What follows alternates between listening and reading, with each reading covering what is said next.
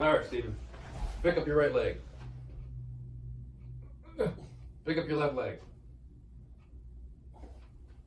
Okay, so we're, we're looking at like first, second rib, third rib, fourth rib. And a little bit of push on that, probably counter straining on that same vertebrae like Mhm. T4. Mhm. Pick up your right leg. Pick up your left leg. Take my hand off. Pick up your right leg. Pick up your left leg. T4. Can you do that? Can you pick this one up? Nope. How about that one? Nope.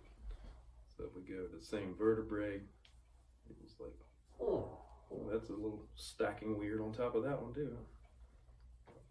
That guy. Pick it up. Pick the other one up. Yep. We just give a little rotation. Try it now. Again. That's pretty dang good.